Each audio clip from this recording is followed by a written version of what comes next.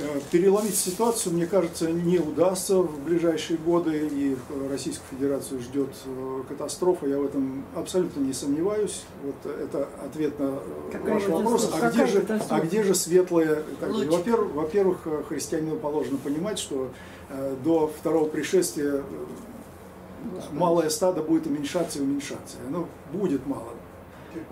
И единственное, что, что действительно может быть, я поэтому и говорю, темные времена, в истории известно такое, такое событие, когда крах э, цивилизации, э, микенской цивилизации произошел, а потом фантастическая античная цивилизация Греции и Рима, а кото- которая, собственно, исход, э, является исходным пунктом всей вообще нашей цивилизации, европейской, христианской. Это вот тот, тот самый толчок, который поднял и потом Собственно, мы христианами стали потому, что были древние греки, были древние римляне.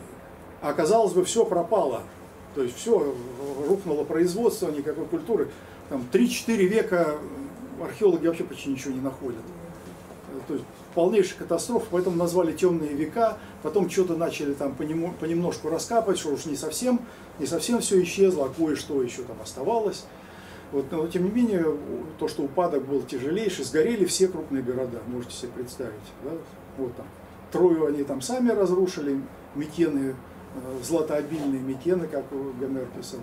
Э, Тоже сожгли от нее, ну, вот сейчас можно посмотреть, но это все было под землей, в 19 веке только раскопали, там Шлиман что в Трое покопался, что вот в Микенах. Нашли все это, и теперь это уже признано наукой, все это уже известно и понятно, что была выдающаяся цивилизация, э, вот, которая была до вот этих темных веков, перед, э, перед античной цивилизацией.